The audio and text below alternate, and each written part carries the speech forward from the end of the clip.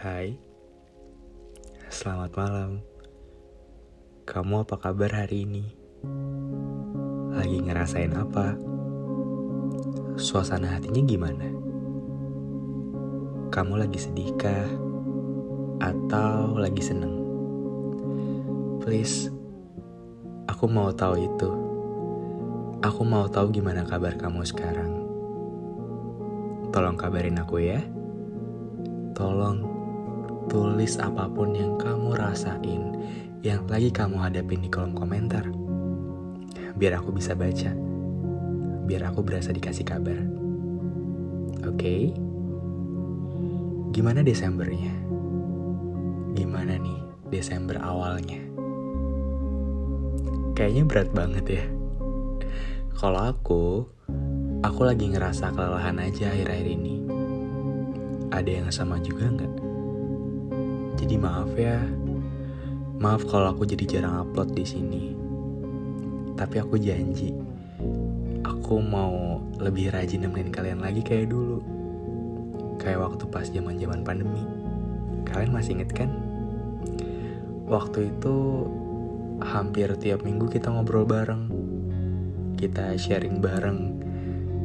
Aku mau kayak gitu lagi. Mau nemenin kalian sebelum tidur lagi. Makasih ya. Makasih udah terus di sini. Makasih udah terus dengerin aku dan makasih udah jadi teman baik buat aku. Karena dengan ingat kalian, aku jadi sadar bahwa aku punya teman cerita yang banyak banget.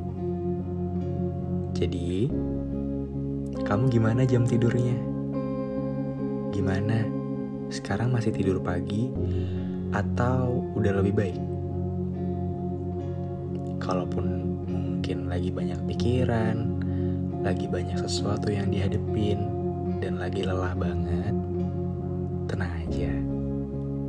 Malam ini, aku bakal temenin kalian dengan sebuah topik yang berjudul Lelah sekali ya. So, are you guys ready to talk with me again? Udah siap ya? Jadi, tanpa harus berlama-lama lagi, yuk langsung aja kita mulai kan. If you are searching for this topic, baby, please listen carefully, cause we will deep dive together. Gue bagas dengan cerita sebelum tidur, menemani kalian mengudara dengan sebuah cerita yang semoga ada maknanya. Capek nggak? Kamu lagi mikirin apa akhir-akhir ini? lagi bingungin apa akhir-akhir ini? Aku pengen tahu dong. Kamu kelihatan capek banget. Kamu kelihatan banyak pikiran banget. Perjalanannya jauh banget ya. Perjalanannya jauh dan terlalu panjang sampai ngebuat kamu kelelahan. Semakin dewasa, rasanya semakin gak karuan ya Semakin dewasa, semakin banyak luka. Semakin banyak rasa sakit yang bikin kita kecewa. Semakin dewasa, aku kira aku bakalan semakin kuat. Tapi ternyata enggak. Aku justru semakin sering menangis. Bener ya? Bener kalau hidup ternyata seberat ini. Kalau yang nanya skripsi aku gimana, masih belum kelar juga. That's why aku jadi jarang on di Instagram, jarang nemenin kalian. Aku minta doanya ya. Akhir-akhir ini aku sering ngelamun sendiri. Sering mikir aja gitu, gimana ya kalau suatu hari nanti aku udah gak punya kekuatan sama sekali. Aku bisa gak ya? Aku bakal sekuat itu gak ya buat menghadapi semuanya? Makanya kemarin aku sempat buat podcast tentang itu di Spotify. Aku kasih judul Tuhan, kuatin aku ya. Kalian udah dengerin belum? Kalau kalian belum dengerin, kalian bisa main-main ke podcast aku ya. Aku sering mikir gitu. Kalian juga gak sih? Sering mikirin hal-hal yang itu-itu aja, sampai akhirnya overthinking, sampai akhirnya kepikiran dan jadi gelisah sendiri gitu.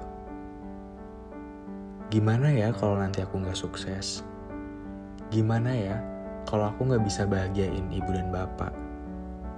Gimana? Rasanya kayak khawatir banget. Padahal kan hari besok gak ada yang tahu bakal kayak gimana. Cuma yang namanya otak kan kadang mikirnya suka kejauhan. Bu, aku takut. Dunia terlalu jahat buat aku. Dunia kejam banget sampai aku gak tahu harus berlindung ke mana. Lelah sekali ya. Lelah sekali sampai buat napas terasa begitu sesak.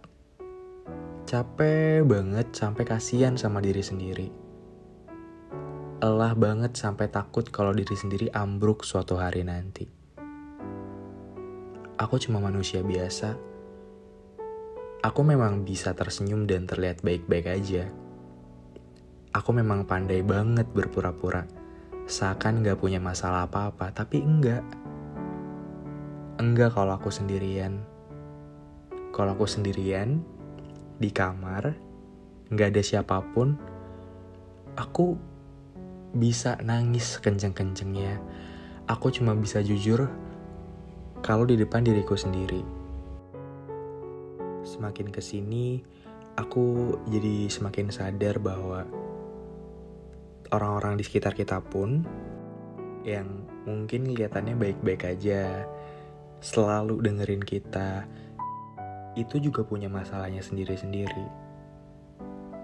Mungkin kadang kita kayak nggak emang nggak ngerti gitu, so sebisa mungkin mungkin kita bisa bantuin mereka atau dengerin mereka. Atau kalaupun nggak bisa, at least jangan berbuat jahat ke mereka dan jangan bilang sesuatu hal yang bisa mengecilkan hati mereka. Gitu ya. Karena di dunia ini butuh banyak banget orang-orang baik kayak kamu. So please bertahan ya. Emang akhir hari ini lelah banget. Akhir tahun mulai dari bulan-bulan yang berakhiran ber September, Oktober, November, Desember tuh semuanya berat banget kita kayak lagi lomba lari, seakan-akan harus cepet-cepetan, harus jadi pemenangnya, padahal kan hidup bukan perlombaan. Hidup bukan ajang di mana kita harus menjadi yang paling, harus menjadi pemenang. No. Kamu bisa terus bertahan, terus hidup di sepanjang tahun ini aja udah hebat banget tau. Jadi please ya, hari-hari ini udah berat banget. Kamu nggak usah maksa diri kamu berlebihan juga. Kalau emang sekarang lagi sedih, it's okay. Allow yourself to cry. Toh menangis bukan tanda kelemahan. Kalau sekarang rasanya lagi capek banget, nggak apa-apa istirahat dulu rebahan dulu, takes time. Gak apa-apa kalau harus mengambil jeda untuk mempersiapkan langkah yang lebih kuat di kemudian hari. Itu gak apa-apa banget. Karena cuma kamu yang ngertiin diri kamu sendiri. Cuma kamu yang tahu gimana caranya diri kamu sendiri buat lebih tenang, buat lebih enjoy. Karena hidup kan bukan perlombaan dan hidup cukup di bawah santai aja. Ya.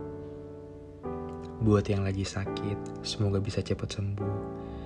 Buat yang lagi insom, semoga semoga episode ini bisa nganterin kamu tidur dan mimpi yang indah. Oke. Okay? Kita sama-sama berjuang ya. I always be there for you. I always here for accompany your night. Oke, okay? Sekarang kalian istirahat dulu ya. istirahat dulu. Mimpi yang indah. Terima kasih ya udah dengerin episode malam ini. Ya udah, so gue bagas pamit undur diri. Sampai ketemu lagi di cerita sebelum tidur episode selanjutnya. Dadah.